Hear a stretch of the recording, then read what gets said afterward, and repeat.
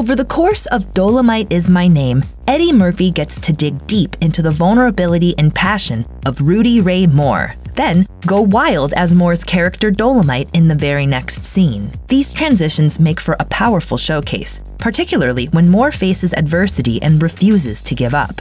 The scene that makes us love Murphy even more comes early in the film, when Rudy is just beginning to develop the character. After listening to a group of homeless men while packing a tape recorder, Rudy goes home and methodically starts becoming Dolemite before our eyes. It's in that moment that the whole film takes off, and Murphy shows us just how versatile he still is.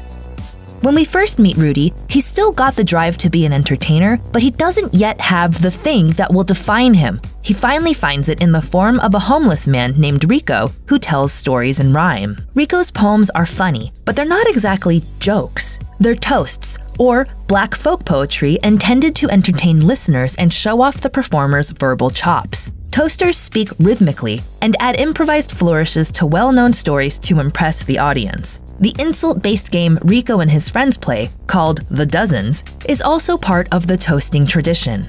Toasts are usually profane, feature recurring characters, and occasionally draw on African folklore. The first toast that Rudy performs as Dolemite, a classic known as the signifying monkey, can be traced back to stories about an African trickster god. Way down in the jungle deep,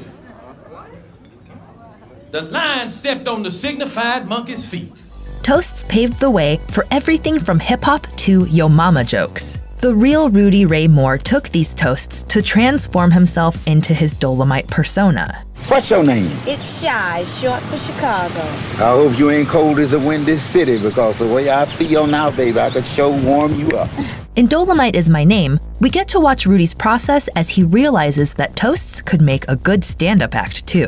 They just needed a professional punch up. That's when he springs into action. He listens to Rico and his friends, he learns, he records, and then he goes back home with a tape and a pad of paper to develop a new stage persona. The scene in which Rudy first becomes Dolemite unfolds over two minutes, and in those two minutes, Murphy flawlessly conveys every stage of that evolution. First, Rudy is a careful student, slowly building his rhythm. I can look up a bull's ass and tell you the price of butter. Funny.